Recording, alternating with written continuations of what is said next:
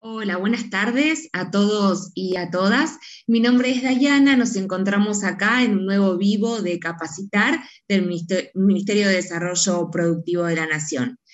Eh, como hacemos siempre cada vez que nos encontramos, los y las invito a registrarse a la plataforma de Capacitar. Es una plataforma interesante dado que allí van a poder encontrar todos los vivos que fuimos desarrollando, tanto durante el año pasado como los que ya estuvimos eh, realizando este año, como así también diferentes foros de consulta donde van a poder interactuar entre ustedes y donde los especialistas que han dado esas charlas también van respondiendo y saldando consultas. Vamos a dejar acá eh, en la placa mm, los datos para que puedan inscribirse. Eh, bueno, aprovecho que estamos eh, acá para invitarlos e invitarlas a participar de la actividad del jueves que viene. Recordamos que vamos a hacer un cambio de día porque el miércoles que viene, 24 de marzo, es feriado. Entonces nos vamos a encontrar el jueves que viene, jueves 25, a las 16 horas, también un cambio de horario para estar ahí atentos y atentas con la actividad el primer creando comunidad. Eh, como ustedes eh, ya saben, porque el año pasado realizamos varios creando comunidad, eh, es, un, es un espacio de encuentro entre ustedes, emprendedoras y emprendedores, para que puedan intercambiar ideas, consultas, va a estar moderado por Rubén César Em, y es interesante, se va a tratar eh, sobre claves para emprender en tu región. La idea es que interactúen entre ustedes, que se puedan conocer y que a partir de ahí se generen vínculos que eh, colaboren en mejorar su emprendimiento. Recuerden que este año todas las actividades son con inscripción previa, entonces acá les vamos a estar dejando la placa para que puedan inscribirse si quieren participar de la actividad eh, del Creando Comunidad del jueves que viene. Eh, pasamos ahora sí ya a meternos en el desarrollo de la charla que hoy nos convoca. Como siempre cuento un poquitito cómo se va a desarrollar, cuál va a ser la dinámica. Eh, Juan Pablo Luna nos va a estar presentando eh, acerca de, eh, perdón, estoy teniendo como un problemita con, la computadora, em, acerca de cómo crear la propuesta de valor con los clientes y las clientas. Él va a estar con su charla aproximadamente 30 minutos, tal vez un poquito más, durante la cual ustedes pueden ir dejando sus consultas eh, en el chat. Y después de que él realice su exposición, yo las voy a estar levantando para que pueda ir eh, dándose un ida y vuelta y él pueda eh, responder las consultas. Ahora sí, ya metiéndonos de lleno en la charla de hoy, Juan Pablo Luna es licenciado en Humanidades y Ciencias Sociales, se especializa en desarrollo local con foco en desarrollo emprendedor y también trabajó en diversos procesos de planificación estratégica participativa. En el día de hoy nos va a estar eh, dando claves para cómo co-crear la propuesta de valor con clientes. Es decir, cómo aprender a integrar al cliente al diseño de nuestra propuesta de valor. Eh, ahora sí, Juan Pablo Luna, ¿cómo estás? ¿Cómo va, Dari? Un gusto, un gusto estar de nuevo aquí compartiendo. Bueno, para nosotros y nosotras también eh, tenés un gran currículum, así que seguramente y mucha experiencia en el tema que, hoy nos convoca, así que seguramente te vamos a poder sacar mucho el jugo. Buenísimo, ojalá así sea. bueno, cuando quieras. ¿Cómo? Voy a tratar de atenerme al libreto y no pasarme los 30 minutos para que no se enoje Jenny. Eh, Muy bien. después, en el medio, te aviso, Dai, también Voy a hacer alguna pregunta con la idea de disparar alguna interacción en el medio de la charla con, quienes estén participando, así que por ahí las respuestas en el chat, etcétera, digo, las vamos compartiendo. ¿eh? Perfecto, perfecto, buenísimo entonces. Eh, bueno, todo tuyo el tiempo. Dale, buenísimo, empezó a correr el reloj.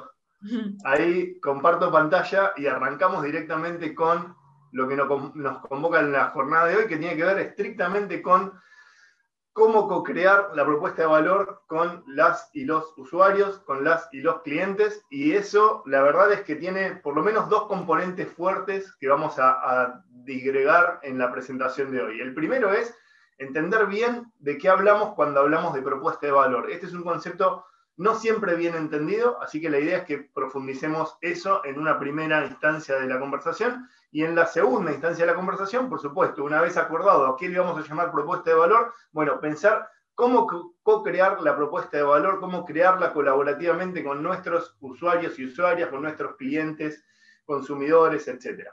Tenemos un TIC y esto la verdad es que es algo que, digamos, solemos hacer mucho más habitualmente de lo que nos gustaría, de lo que solemos reconocer, que tiene que ver con centrarnos en lo que ofrecemos. Como digo, la propuesta de valor muchas veces está sintetizada con un, paquete de regalo, ¿no? Algo que abro y de ahí salen cosas. En general, nosotros miramos la propuesta de valor hacia adentro, nos concentramos en el tipo de productos o de servicios que ofrecemos y como esa es nuestra oferta, la comunicamos fuertemente. Tratamos de contar por todos lados cuál es el servicio, cuál es el producto que ofrecemos a quien se vincule con nuestro emprendimiento.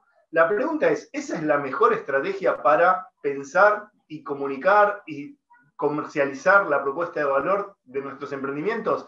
La respuesta, la verdad, es que no. Y no por alguna razón que tuvo que ver con cómo cambió y cómo se puso el usuario en el centro allá por la década del 90 y nadie podría discutir el cambio paradigmático que hubo a la hora de repensar los negocios.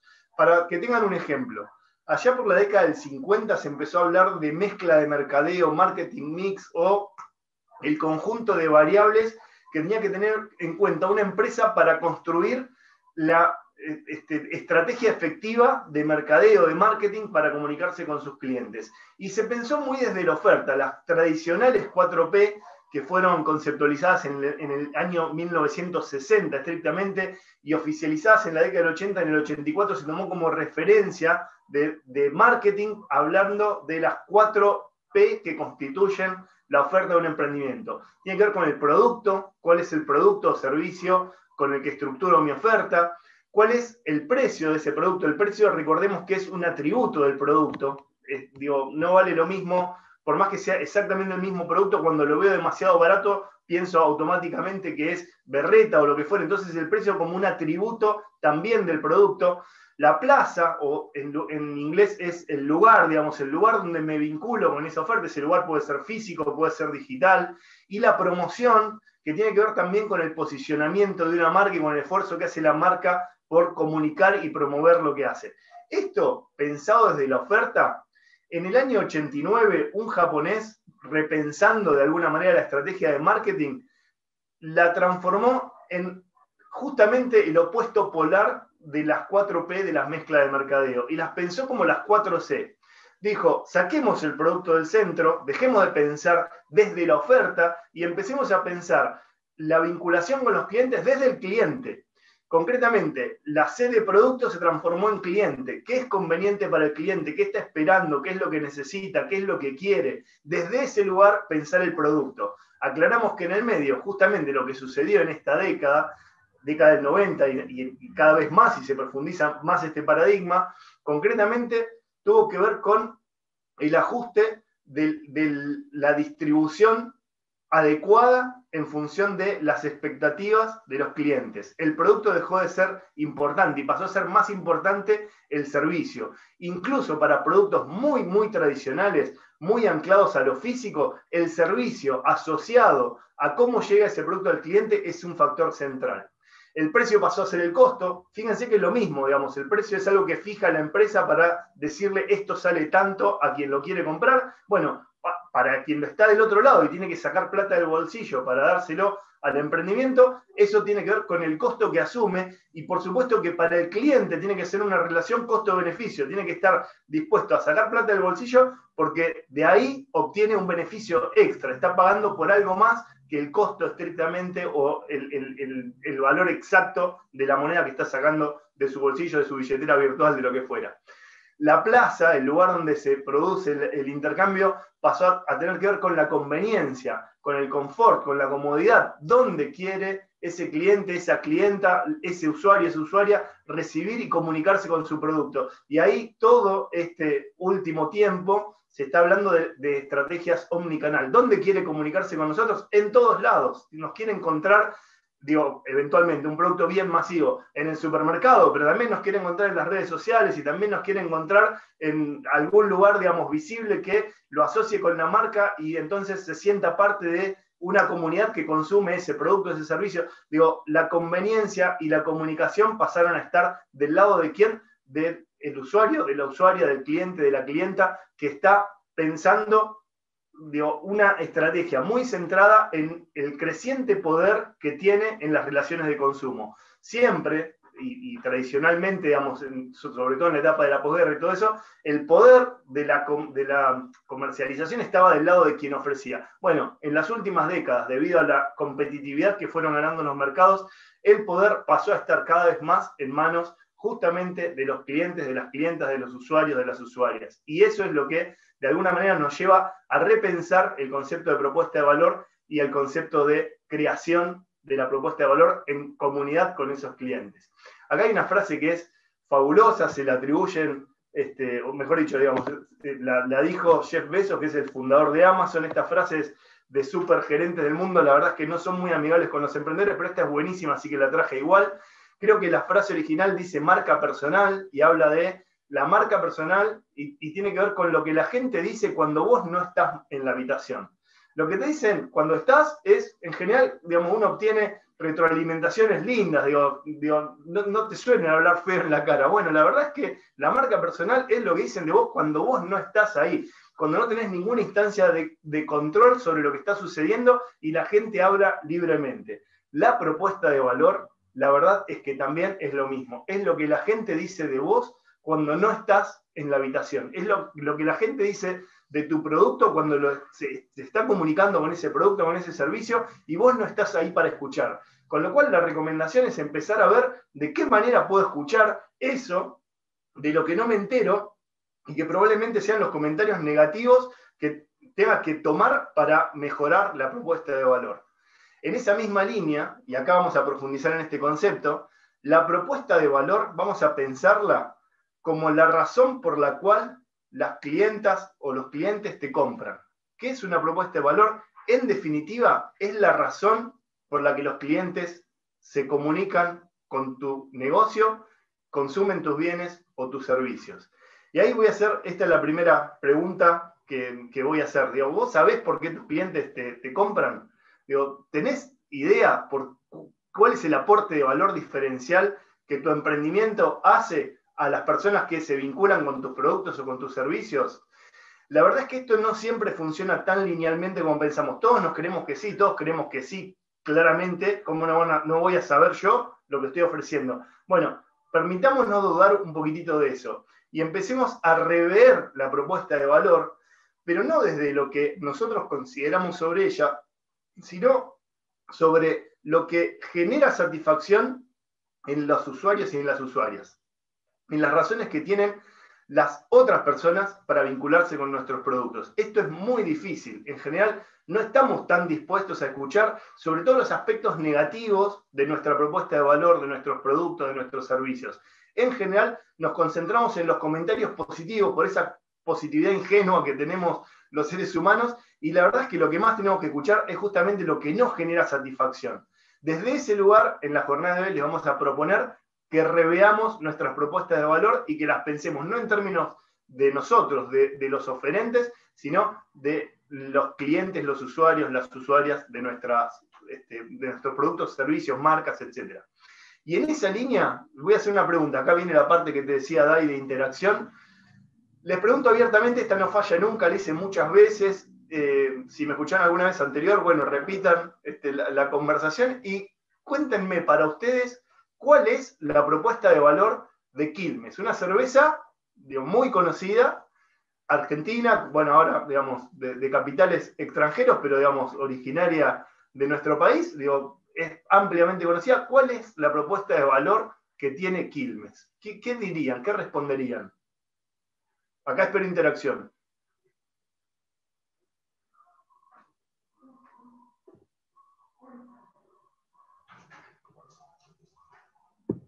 Voy revisando el chat. Dai, si querés contar, también interactuemos. El sabor del encuentro, que se puede compartir con amigos. Bien. Bueno, que se comparte representa la argentinidad, sabor del encuentro, reuniones con amigos. Gente, paremos acá. Descanso también tiran acá en el ah, chat. relax. Pero fíjense lo potente que es la publicidad. Sabor del encuentro, amigos, argentinidad. Esas son las cosas que nos cuenta Quilmes en sus publicidades. Quilmes tiene un presupuesto de publicidad que ninguno de los emprendedores que están conectados en este momento probablemente tiene. Digo, tienen presupuestos de grandes corporaciones. Nosotros, en general, digamos, no tenemos el mismo presupuesto asignado a publicidad y si lo tuviéramos lo destinamos en general a otra cosa. La publicidad es muy efectiva para contarnos lo que quieren contarnos sobre su propuesta de valor. Nos quieren contar que la ocasión de tomar Quilmes es con amigos, que la ocasión de tomar Quilmes tiene que ver con el encuentro, que la ocasión de tomar Quilmes tiene que ver con este, lo argentino, y por eso muchas publicidades tenían que ver con este, fútbol, mundial, etc. Gente, nada de eso tiene que ver con la propuesta de valor de Quilmes.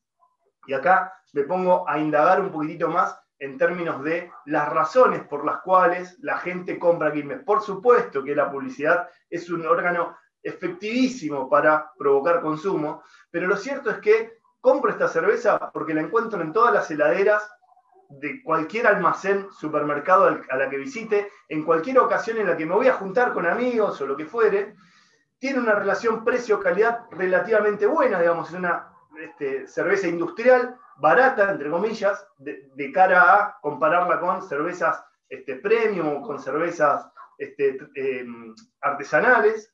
La relación precio y producto industrial es relativamente buena y esencialmente está en todos los lugares en donde las puedo encontrar. Estoy en Tierra del Fuego, consigo Quilmes. Estoy en el conurbano bonaerense, consigo Quilmes. Estoy en Salta, consigo Quilmes.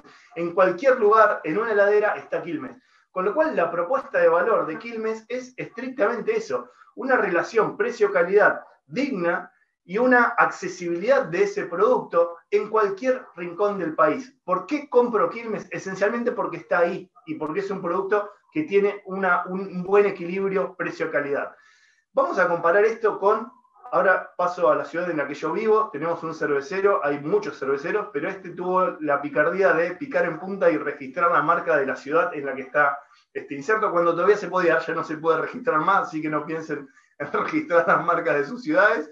Pero la cerveza Esquel, les pregunto ahora, tomen una cerveza que se llame como la ciudad en la que ustedes viven. La cerveza Esquel, ¿por qué la gente consume? ¿Cuál es la razón por la cual consumimos este producto que es cerveza artesanal? No es la cerveza industrial, tiene otro este, estándar precio-calidad y tiene, por supuesto, otra estrategia de distribución. ¿Por qué razón consumiría, pónganse en mi lugar, yo vivo acá, o pónganse en alguien que está en cualquier otro lugar y ve una cerveza que se llama Esquel? ¿Por qué se consume cerveza Esquel? ¿Cuál es la propuesta de valor que está atrás de cerveza Esquel?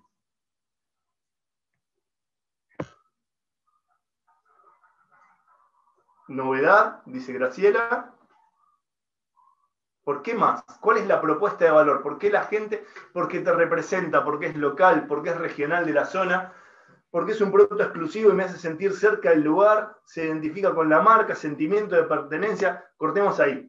Es exactamente eso. ¿Vieron qué fácil que es identificar la propuesta de valor de un producto? Desde afuera rápidamente nos comunicamos con eso. Gente, les confieso algo. Yo hace 25 años que no tomo alcohol, soy abstemio. Tengo dos remeras de cerveza Skelly. No tengo más porque no fui a comprarme pero ¿por qué me pongo una remera de algo que no consumo? No, no tomo cerveza. ¿Por qué es de Esquel? Porque soy, vivo en Patagonia, porque tiene que ver con una marca que tiene que ver con la naturaleza. Fíjense el arbolito, es un arbolito tradicional de la región.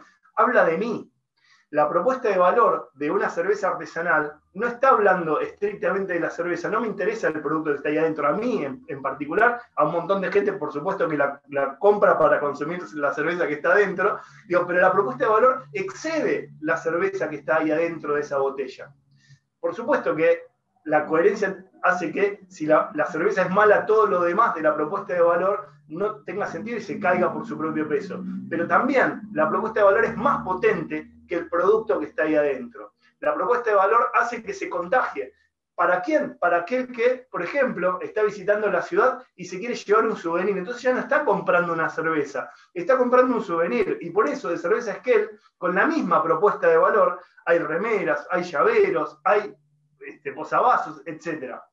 La propuesta de valor es mucho más amplia que un producto, pero tiene que ver con encontrar esa frecuencia de por qué el usuario la usuaria está comunicándose, está usando ese servicio, ese producto, por qué el cliente está sacando plata de su bolsillo y está comprando nuestro producto. Cuando lo pienso en términos de propuesta de valor, se me ocurren muchas más cosas. No solo la cerveza que está dentro de la botella, también se me ocurren otras cosas asociadas a la misma propuesta de valor del concepto de souvenir tradicional, regional, de producción local, y me llevo una remera voy a, la misma, a, la misma, ecuación, ¿no es cierto? Por ejemplo, un producto de este, una marca tradicional de cereales, digo, con, mucha presencia, digo, ¿qué me está ofreciendo ahí? Bueno, no sé, por ejemplo, el desayuno de de los nenes, un desayuno rápido, fácil o lo que fuere, ¿está bien? O una colación entre medio. A la derecha hay un producto de un emprendedor amigo que se llama Helio Peroto, que lo quiero un montón, que nos enseñó un montón a muchos de quienes estamos aquí. Y Samurai es un cereal proteico. Les cuento la evolución de la propuesta de valor de Helio. Antes de, esta, de este cereal proteico, tenía otra marca en la que vendía una, una especie también, digamos, de cereales que tenían que ver con este, incorporar más fibras, y con lo cual la propuesta de valor, en realidad la comunicación tenía que ver con eh, consumir este cereal y si tenés tránsito lento, te va a fluir mucho mejor. La propuesta de valor estaba orientada casi a una patología. Está bien alguien que padecía algo este, que, no le hacía bien al cuerpo y tenía que este, fluir mejor y esa era la propuesta de valor del producto tenía un nicho y estaba muy asentado en ese nicho y de repente encontró que cambiando el segmento de clientes y apuntando no ya a personas que tuvieran un problema físico, sino a personas que estuvieran relacionadas con el cuidado salud, con el deporte, etcétera, podía cambiar el segmento de clientes y la propuesta de valor. Concretamente lo que vende hoy Helio son cereales proteicos. ¿Pensados para quiénes? Para deportistas, para gente que quiere subir, eh, incrementar el consumo de proteínas para, este, nada, tener mayor salud, este, generar masa muscular, etc. Cuando cambió el segmento de cliente y la propuesta de valor, explotó como marca y lo consumen grandes deportistas y viene el deportista y se saca la foto con los productos de helio contando que los consume habitualmente porque le aportan la proteína extra que necesita para llevar una vida saludable. Entonces, desde ese lugar, la propuesta de valor la tengo que pensar siempre asociada a un segmento de clientes y algo que quiero comunicar. Cuanto más expansivo sea la propuesta de valor y el, el segmento de mercado al que esté apuntando, más expansiva va a ser el crecimiento y las posibilidades de cada emprendimiento. En esa misma línea, por ejemplo, digo, hamburguesa tradicional versus no hamburguesas. La que está a la derecha es una marca, nada, una historia larga, es una marca que nació en Chile, genera productos basados en vegetales, basados en plantas, no incorpora ningún elemento este, animal, con lo cual son aptos veganos, pero fíjense que lo que está vendiendo es una hamburguesa y lo que te dice claramente es, como propuesta de valor, consumí el mismo tipo de productos que tienen origen animal, pero sin afectar a los animales. Atrás de eso, todas las razones ecológicas que tienen que ver con este, disminuir la huella de carbono y disminuir el impacto de generar proteínas para alimentar otras proteínas para que el humano lo consuma. Digo, hay un segmento creciente de, clientes que valoran esta nueva tendencia de este, vegetarianos, veganos, etc. Y a ellos les están hablando con su propuesta de valor la gente de NotCo además de no hamburguesas, venden no mayonesas. ¿Qué es no mayonesa? Esencialmente una mayonesa que no tiene ningún producto animal, no tiene huevos, etc. Y así van generando, hicieron no helado, hicieron no leche, la propuesta de valor es la misma. Te dicen, consumir los mismos productos que estás acostumbrado a consumir, no hace falta que cambies el tipo de productos, pero nosotros te garantizamos que estos productos no tienen ninguna afectación del mundo animal. Desde ese lugar todo nace de alguna manera, de esta metodología que las y los emprendedores están acostumbrados a ver hasta en la sopa. Allá también por la década del 90 empezó a hacerse más dinámico el mundo empresarial y, la, la, puesta en marcha de startups tecnológicas aceleraron todos los tiempos y en 2010 salió a la cancha un libro con una propuesta de hacer pensamiento visual para pensar tu modelo de negocio. Esto es una plantilla para pensar el modelo de negocio. Probablemente llenaron muchas de estas jugando con sus ideas.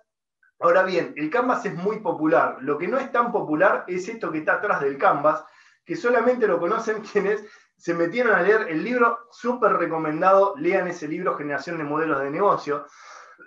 El Canvas me permite ver el modelo de negocio actual, proyectado de mi compañía, de un competidor, etcétera, el modelo de negocio estático dentro de sí mismo. Pero hay un zoom hacia afuera del Canvas que tiene que ver con mirar el entorno competitivo en el cual ese modelo de negocio se va a desarrollar. Y esto de la propuesta de valor tiene que ver con un zoom hacia adentro, no ya desde mirar el, afuera y qué hace la competencia, sino estructuralmente ver cuál es la propuesta de valor de nuestro emprendimiento en términos de la posibilidad de rediseñarla justamente con los clientes. Entonces, hay como una secuela de generación de modelo de negocio fue diseñando la propuesta de valor. Estos dos libros son súper recomendados, son súper útiles para emprendedoras y emprendedores. Les, les, recomendamos fuertemente que se vinculen con ellos. ¿Qué hicieron? Como el pensamiento visual era la estrategia para repensar con mayor dinamismo los negocios, bueno, ofrecieron nuevamente un nuevo tablero y ese tablero tiene que ver con el canvas, el lienzo, el afiche de la propuesta de valor. Y en este canvas lo que me permite mapear rápidamente es, del lado del cliente, de la clienta, tres cosas fundamentales. ¿Qué cosas le causan alegrías? ¿Qué lo pone contento, la pone contenta? ¿Qué sube el nivel de satisfacción? ¿Qué cosas le generan frustraciones? ¿Qué cosas no le gustan? ¿Qué cosas este, no valora? ¿Qué, ¿Qué, cosas son las que este, bajan la, energía y, la posibilidad de contactarme con ese cliente, con ese usuario, con esa usuaria. Y la otra es los trabajos que lleva adelante él o la clienta. Concretamente, hay un montón de cosas que no nos gusta hacer y que las hacemos porque no nos queda otra. Si alguien encontrara algo que me ahorrara algo que no me gusta hacer y yo pudiera asignarle tiempo a algo que sí me gusta hacer, la verdad es que rápidamente buscaría conectarme con esa este, con, ese servicio, con ese producto, con lo que fuera. Entonces, fíjense que la propuesta de valor que está del otro lado está pensada en sinergia con esas variables de alegría, frustraciones, trabajo del cliente. Concretamente, dentro de la propuesta de valor de mi emprendimiento, ¿qué trabajos le puedo ahorrar? ¿Qué productos, servicios le pueden ahorrar trabajos a esos, a esos clientes? ¿Qué le puede disminuir las cosas que no le gusta hacer? ¿Qué le puede generar mayor alegría, qué cosas va a valorar si yo se las ofrezco asociadas a mi producto o a mi servicio, y qué cosas puede disminuir los aspectos negativos o las valoraciones negativas que tenga el cliente sobre el tipo de productos que ya están dando vuelta en el mercado. Y acá vienen dos cosas. Primero, la inteligencia competitiva. Digo, mi competencia tiene un muy buen producto, pero la verdad es que no le llega en tiempo y forma al cliente o a la clienta. Lo compré y lo quiere mañana. ¿Puedo mejorar la logística? Ahí es donde la diferenciación tiene que ver con hacer algo que mi competidor no está haciendo. Por más que el producto sea similar, si yo cambio la ecuación de servicio y llego de forma distinta, tal vez esa es la propuesta de valor que me diferencia de la competencia. Entonces, ahí disminuir trabajos, subir alegrías, disminuir frustraciones, eso es lo que en definitiva va a facilitar este proceso, que es el maridaje entre lo que el cliente la clienta está esperando y lo que mi emprendimiento tiene para ofrecer. Hablamos de maridaje, a mí me encanta esa palabra, en, inglés, digamos, y en, la jerga de, mercadotecnia se, se, habla de product market fit o ajuste producto mercado. El ajuste producto mercado es ni más ni menos que encontrar ese punto de unión, ese maridaje en el cual la oferta de mi emprendimiento está ajustada a las expectativas, necesidades, deseos, etcétera, de quien está consumiéndolo y, se está vinculando. ¿Cómo construir esa propuesta de valor con los clientes y las clientas? Hay que hacer algo muy difícil, pero muy, muy, muy difícil. preguntar mucho y escuchar mucho. Digo que es muy difícil porque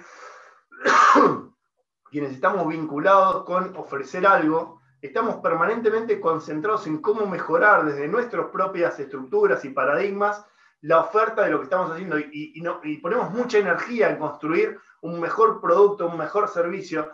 Y llega un momento en que tanta energía ponemos en el desarrollo del producto que dejamos de pensar en términos del cliente.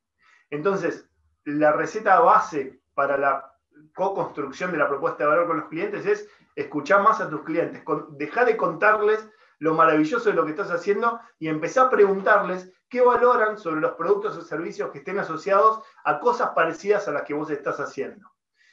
Hay un montón de estrategias. Una de ellas es, por ejemplo, no preguntar explícitamente, sino observar y detectar la ruta del usuario o la ruta de la usuaria que está vinculándose con un producto o con un servicio similar al nuestro o con el, nuestro mismo. Si yo quiero mejorar mi propuesta de valor, una forma es ver mi, producto, pero de forma integral, digamos, desde que el, el cliente piensa en consumirlo hasta que lo compra, hasta que lo recibe, hasta que lo usa, etc. Y poder ver la ruta que hace ese usuario o esa usuaria del producto y desde ese lugar ver qué cosas le generaron insatisfacciones.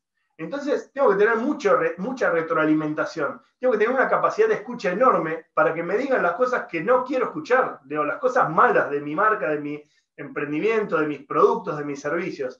Y desde ese lugar, repensar cómo podría mejorar. ¿Puedo mejorar la logística? Si no puedo mejorar la logística, digo, no, digo, no puedo atender esa insatisfacción. Bueno, puedo compensar mejorando alguna otra cosa y maximizar otra satisfacción que sí genere mi producto o mi servicio, o si no, puedo rever los canales de comercialización para mejorar eso que le está generando insatisfacción y mejorar la logística. Digo, ahí es donde empiezo a tomar decisiones estratégicas de rediseño de la propuesta de valor desde lo que los clientes me dicen de forma explícita o lo que puedo observar en esa ruta. Todas las estrategias de pensamiento, de diseño, esta es otra metodología muy útil para reconstruir la, propuesta de valor desde las expectativas de las y los clientes, todas las estrategias son válidas. Y acá queremos contar esto de lo tan difícil que es este, co-construir la propuesta de valor con las y los clientes. ¿Dónde están las y los clientes? ¿Están en nuestro emprendimiento? ¿Están en el edificio en el que nosotros producimos? ¿Están en el lugar? No, están afuera del edificio. Una un desarrollo de, un señor que se llama Steve Blank, que revolucionó de alguna manera este enfoque y hablaba de desarrollo de clientes a la par que vamos desarrollando el producto. Una premisa básica es salir del edificio, salir del lugar donde estás, salir de tu sala de producción, salir de tu este, sala de prestación de servicio y andar al lugar donde están los clientes, los proveedores, donde está la gente que se vincula con tu emprendimiento. Ahí es donde tenés que buscar esta información. Desde ese lugar, otra metodología que es muy afín a esto de ir aprendiendo del cliente, se llama Lean Startup. Todas estas metodologías de alguna manera vienen muy de, de las startups tecnológicas y el mundo digital, pero concretamente se trata de, tengo una intuición, mi idea es que tal producto, tal servicio va a caminar porque va a atender la necesidad que me están contando este, estos clientes o que estoy viendo en, esto, en este mercado potencial. Bueno, tengo que salir a testearlos. No, no basta con intuiciones. Imagínense si con una intuición hago una inversión millonaria para ver si funciona o no funciona. No, no hagas una inversión millonaria. Baja la inversión y hacela cuando realmente tengas evidencia, evidencia empírica, cuando tengas datos que corroboren que lo que vos tenés como intuición efectivamente se comporta de esa manera. Y nuevamente, ¿cómo hago para saber si eso efectivamente es así? Bueno, tengo que poder medir a partir de lo que las y los clientes me digan, lo que las y los usuarios valoren o, disvaloren de mi propuesta de valor. Y ahí nuevamente hay que hacer algo súper difícil y es mostrar borradores. No muestres el producto final acabado, el prototipo funcional, lo que ya está envasado para salir a la góndola del supermercado. Eso no sirve porque ya la gente en esa instancia no te no te da retroalimentación en términos de ayudarte a diseñarlo. Concretamente, digo, si es tu abuela, si es tu tía, si es alguien que te quiere, te va a decir qué lindo y te, va a palmear la espalda y te va a decir que es maravilloso. Si es un cliente, no va a sacar plata del bolsillo para comprarte. directamente, no estoy en esa instancia donde ya está todo muy desarrollado, no estoy dando lugar a la co-creación, no estoy dando lugar a que nadie opine de nada, porque ya lo hice muy, muy producto final. Y como somos obsesivos, las y los emprendedores, nos concentramos en que el producto esté súper, súper lindo antes de mostrarlo. Bueno, todo lo contrario de eso. Muestren el borrador. Y acá hay un concepto que está muy asociado a las metodologías ágiles. Si los pongo en la sigla original, porque lo van a ver por algún lugar, que es MVP, eh, digo, es como se, cuenta por todos lados que hay que hacer el MVP de tu emprendimiento. En castellano es eh, el producto mínimo viable.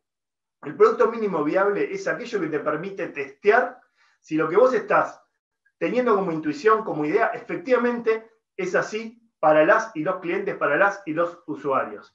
Y el MVP o el producto mínimo viable lo tengo que abrir en instancias de borrador, lo tengo que tomar como un experimento. Es experimentar para ver si la hipótesis que yo tengo se contrasta en la realidad, si efectivamente se corrobora que las y los usuarios valoran lo que yo estoy pensando que van a valorar.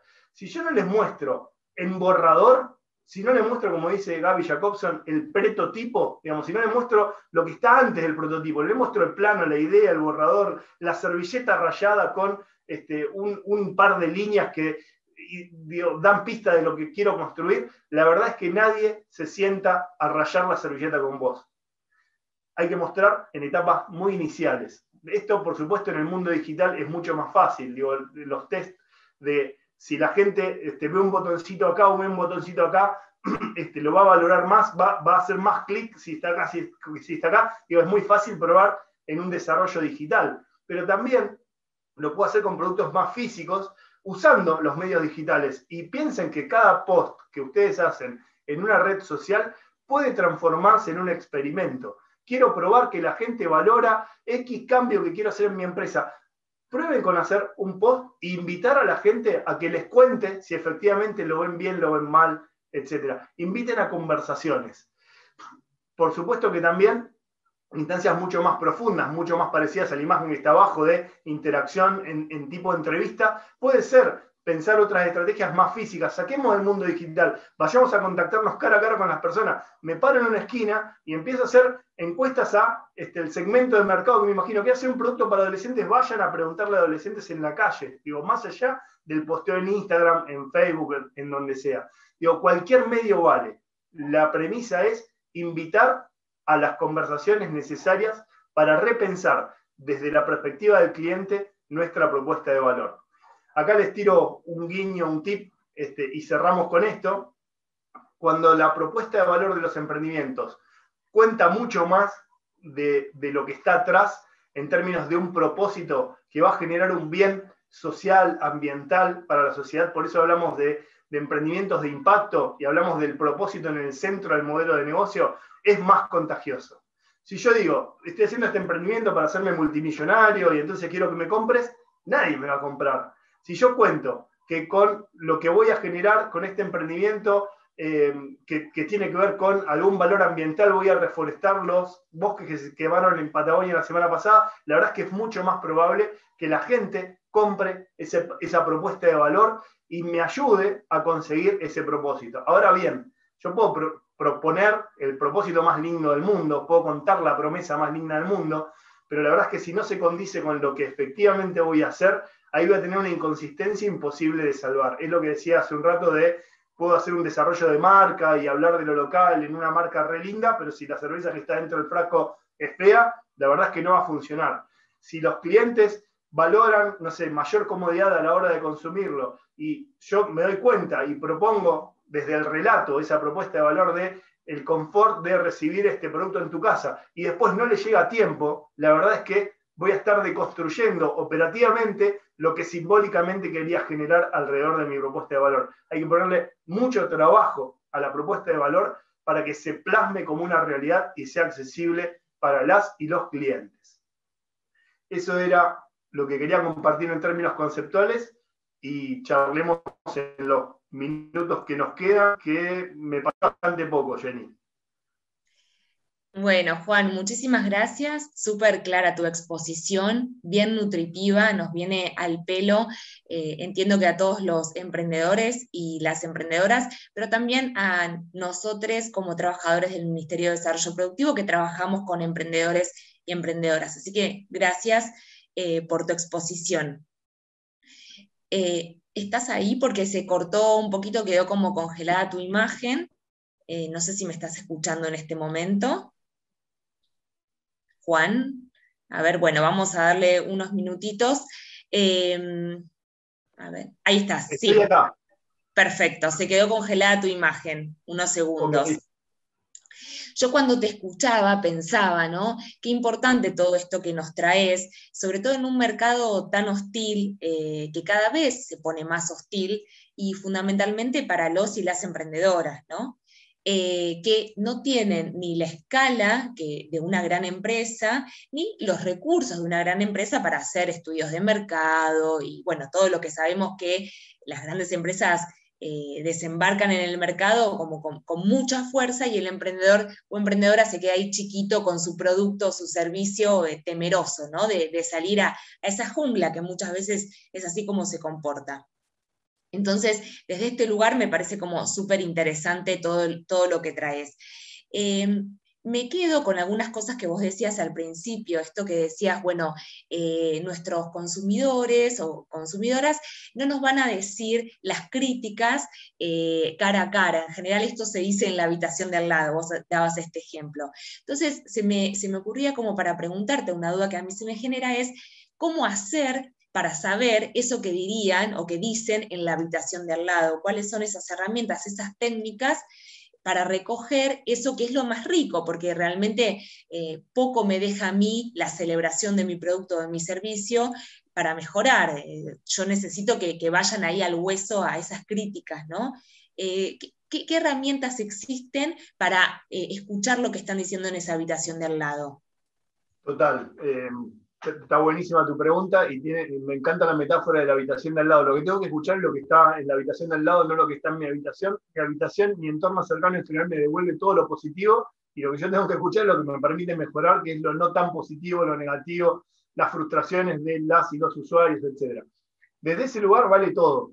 Em, en un punto, las primero, em, las metodologías ágiles lo que proponen de base es em, un eh, método hipotético deductivo, concretamente, que el emprendedor, la emprendedora que está pensando en desarrollar algo, se imagina del cliente un montón de cosas. La gente va a valorar, le va a gustar tal cosa. Bueno, no vale lo que me imagine. Lo que tengo que hacer es comprobar si eso es así.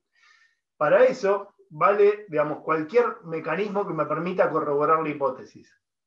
Vale entrevista en profundidad, vale encuesta, vale un test digital, vale cualquier cosa que sea un experimento, incluso cuanto más se acercan a una instancia, eh, digo, que, los costos de transacción sean los que efectivamente va a tener el producto o que sea lo más parecido a que eh, lo encuentren en el lugar donde lo voy a comercializar, mejor. Concretamente lo que estoy diciendo es un ejercicio de venta de prototipo o un ejercicio de venta de primera instancia es muy útil.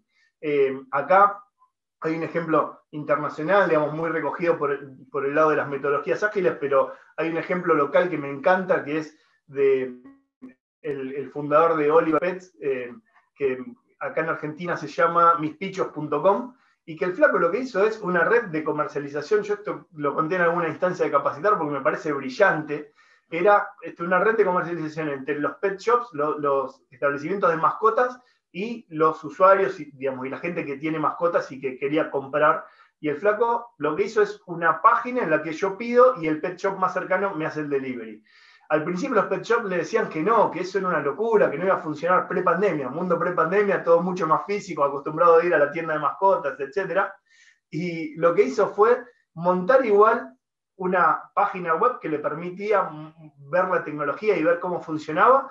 Y a los primeros pedidos cuando se los hicieron, incluso a un precio que estaba este, por debajo del precio que efectivamente lo estaba cobrando la, tienda de mascotas cercanas, a una pérdida, fue, le, decía al repartidor, anda, compralo a la tienda de mascotas más cercana y lleváselo a esta persona que nos hizo el pedido por la web. Perdiendo plata, en realidad ganó muchísima información. Con lo cual, lo que hay ahí atrás es primero una actitud experimental, estar dispuesto a invertir para probar si eso funciona o no funciona, y entender que lo que estoy haciendo es una prueba, no que tengo que rentabilizar del producto 1, sino justamente que por ahí puedo perder los primeros 10, 15, las primeras 10, 15 unidades que venda para ver si efectivamente el modelo que está atrás o que soporta esa hipótesis está funcionando. Así, lo que quieran, digamos, el, el experimento se lo tienen que imaginar ustedes. Puede ser estos mecanismos más tradicionales de relevamiento tipo antropólogo, o puede ser algo más digital, o puede ser algo más este, de probar realmente cómo funciona en la realidad el modelo de negocio. Todo vale. La verdad es que no hay una técnica. Lo que sí les digo, eh, para las mil técnicas que hay dando vuelta, busquen, en, por ejemplo, en el libro este que les recomendaba de Diseñando la propuesta de valor, súper, súper recomendado. Ahí recomiendan algunos experimentos y algunos test. Digo, súper recomendado hacerlo sistemáticamente, ir evolucionando en este círculo, digamos, que proponen las metodologías ágiles, es no quedarme con lo primero que me viene, sino repensar, digo, tenía una idea original, la realidad me dice otra cosa, repienso, vuelvo a testear y así ir aprendiendo cada vez más al menor costo posible para maximizar la información y adecuar cada vez más la propuesta de valor. Perfecto, Juan, súper, súper claro. Em, vos hacia el final estabas como comentando cuando tenías esa imagen, ese dibujito, em, e, esa técnica, decías algo así como, bueno, ya cuando el, producto está cerrado, eh, ya no hay mucho lugar para la co-creación, pero em, nos encontramos muchas veces con productores o personas que brindan un servicio, que el servicio o ese producto es de una gran calidad, pero no están encontrando su lugar en el mercado. Entonces ahí nos preguntamos, bueno, realmente hay que repensar esa propuesta de valor. Entonces, eh, sí.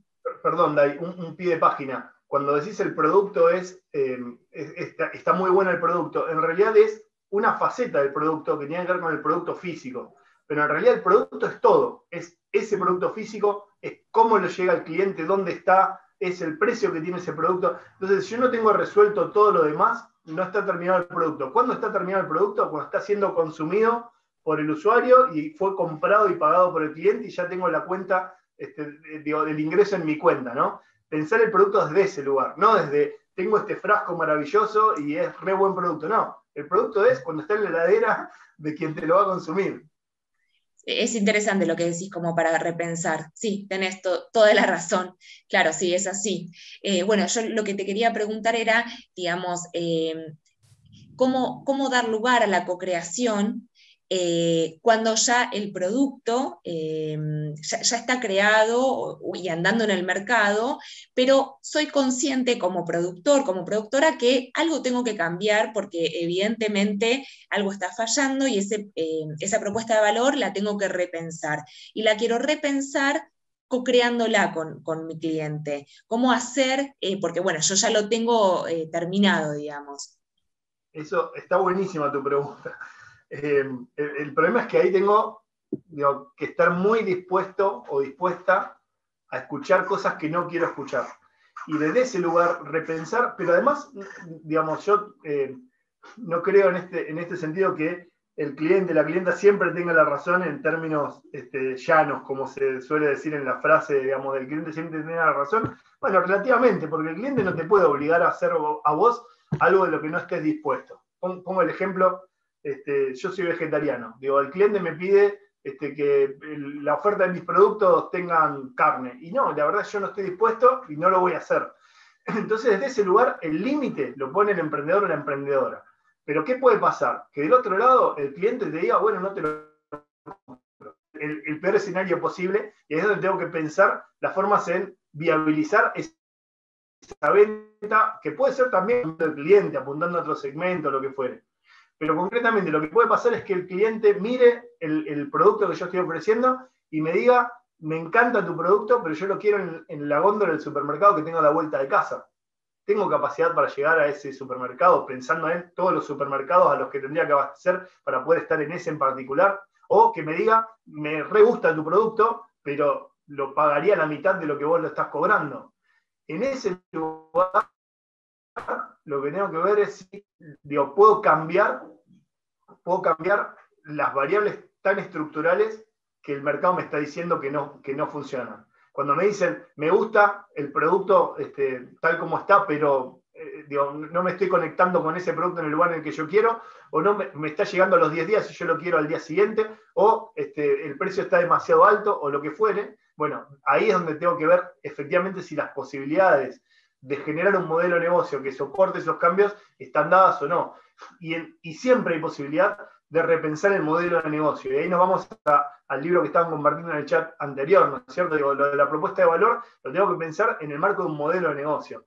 Si tengo la chance, digo, el ejemplo de Helio lo contaba hace un rato a propósito, ¿no? Digamos, esto de cambiar radicalmente el segmento de clientes, de este, personas con constreñimiento a deportistas que quieren consumo salud. Digo, hay un cambio radical de, la propuesta de valor, pero también un cambio del modelo de negocio. Eh, dejo de estar en dietéticas tradicionales y paso a estar en casa de deportes, y paso a estar en los gimnasios, y paso a estar en los eventos deportivos. Entonces hay un montón de cosas que están atrás de, del hardware del, emprendimiento, digamos, del modelo de negocios y de que las cosas sean efectivamente posibles. Perfecto. Súper claro, muchísimas gracias. Acá una emprendedora nos consulta, ¿sumar al cliente al armado de la propuesta de valor aplica también en el caso de los servicios? ¿Cuáles serían las especificidades en ese caso? No sé de qué servicios estamos hablando, pero sí, claramente esto, en realidad, todas estas metodologías vienen de la mano de la cada vez más difícil distinción entre producto y servicio ya hay una fusión del producto y servicios. cualquier producto tiene una dosis enorme de servicio asociado. Con lo cual, los que son servicios, hay una propuesta de, pensar este, la, la, digamos, o sea, como pensarlo, es tan distinta la prestación de un servicio de la producción de un producto tradicional, de un bien, que la tendría que pensar con una ecuación distinta. Esto es mucho más adecuado para los servicios, es mucho más fácil incluso repensar la propuesta de valor de los servicios que de los productos. Ahí eh, Sandra aclara, servicios turísticos. Sí, claramente, digamos, eh, voy por partes. Una de las industrias más afectadas por el marco de la pandemia fue justamente el, turismo, eh, con lo cual de alguna manera se, se dio, nada, por definición que muchos emprendimientos turísticos tuvieron que cambiar radicalmente su propuesta de valor. Algunos lo lograron, otros es mucho más difícil. estaban cerrados los viajes y las aerolíneas no tenían mucha forma de, de, reconvertir, su modelo de negocio. Ahora bien, para los servicios en general, lo que tengo que pensar es propuestas de valor que sean más amplias y en esto vale lo que contamos de la cerveza Esquel, ¿no? Amplias de el producto tradicional con el que yo estaba asociado. Eh, por ahí digo una pavada tengo un servicio de alojamiento. Bueno, pero la gente no valora solo el servicio de alojamiento, valora el servicio de alojamiento asociado a tener solucionado un montón de cosas alrededor de cuando en mi cabaña, por decir una, algo bien turístico patagónico. Digo, además de la cabaña, quiere tener algo para hacer. Entonces, no sé, ahí hay, este, no sé, hacer una cabalgata, este, ir a visitar tal lugar, sacarse una foto, tener una experiencia gastronómica. Y la verdad es que, bueno, pero yo tengo cabañas. Y si solo pienso la propuesta de valor desde las cabañas, me va a costar armar todo eso que tiene estar dispuesto. Desde ese lugar, tengo que pensar que la propuesta de valores integral. ¿Quieres cabalgatas? No, pero tengo que promover que eso suceda, tengo que vincularme con quien las hace, tengo que estar atenta a la experiencia completa del turista o de la turista que viene a quedarse a mi cabaña. Ya lo que se consume es una experiencia y no estrictamente un alojamiento, una comida o lo que fuere. En los servicios esto es mucho más claro todavía, entonces tengo que pensar la propuesta de valor desde la experiencia integral pero vale también para los productos. La experiencia integral de compra de un producto es, supongamos en el marco de la pandemia, lo compro desde mi casa y después quiero tener el seguimiento de por dónde viene el envío que me mandaron y, tener garantía de que cuando hice la transferencia efectivamente llegó al lugar donde se acredita y no me van a cuestionar y no me van a, este, nada, joder digo, en, la transacción. Digo, hay un montón de cosas que están asociadas al producto, a la propuesta de valor. Y si no me hago cargo de que todo eso también es parte de lo que yo tengo que garantizar, la verdad es que la propuesta de valor va a fallar, por más que en términos físicos tenga un bien, un producto contraacabado. La verdad es que es toda la cadena. Perfecto, Juan. Acá Silvia Dominici nos consulta cómo en servicios de consultoría, cómo mejorar la propuesta de valor. Qué gran pregunta. Siempre ahí es, mucho tiene que ver con, el mercado, digamos, a quién le estoy brindando servicio de consultoría, qué está esperando. Y ahí hay otra, otra parte extra que tiene que ver con la diferenciación, ¿no? Hay, hay digamos, muchísimo que, está siendo ofrecido y, cuando hay mucha oferta de, algo, eh, bueno, digo, tengo que encontrar estrategias para diferenciarme, para hacerme distinto, distinta y que mi propuesta de valor tenga un extra. Eh, no hay mucho este, para contar, salvo que tengo que charlar más con el mercado del que estoy abasteciendo o eventualmente con el que me quiero reconvertir y empezar a preguntar qué valoraría de una consultoría integral. Probablemente lo que salga es eso, digamos, cada vez más queremos más confort, queremos más comodidad, queremos que sea llave en mano. entonces, no sé, ofrezco un servicio en particular, hago consultorías financieras. Bueno, pero digo, alguien que me contrata, además de lo financiero, quiere resolver la estrategia de este, comunicación y quiere resolver la estrategia de, entonces lo tengo que pensar en el marco de un conjunto de servicios y no ya de, estrictamente lo que estoy ofreciendo. La receta es, la misma para todos, es dejar de pensarlo desde la oferta y empezar a, pensarlo desde la cabeza del cliente o de la clienta. Buenísimo, Juan. Eh, antes de terminar, ya estamos llegando como al tiempo de, de descuento, te quería consultar, vos mencionaste, eh, no sé si uno o dos libros, si podés mencionar además de los títulos los autores, porque por lo que dijiste son muy interesantes como para, para volver y sacar más jugo de lo que estamos charlando. Hay muchos libros que deberían ser parte de la biblioteca de cualquier emprendedor o emprendedora. Eh, y los que trabajamos hoy tienen que ver, principalmente, en realidad mencionamos varios, pero los, dos estructurales son generación de modelos de negocio de Osterwalder y Pinier, que podríamos compartir, a ver, mándolos. Igual googleen este, generación de modelo de negocio y van a salir eh, porque son realmente muy famosos. Eh, eh, creo que se escribe así los dos, son unos más difíciles de escribir que el otro. Y el, el otro se llama Diseñando la propuesta de valor, y además de estos dos autores mencionados, hay un tercer autor de apellido Bernardo. Son geniales. La verdad es que em, la revolución metodológica que tuvo el terreno emprendedor ah, eh, desde el 2005 en adelante, de 2001 en realidad con, con las primeras metodologías,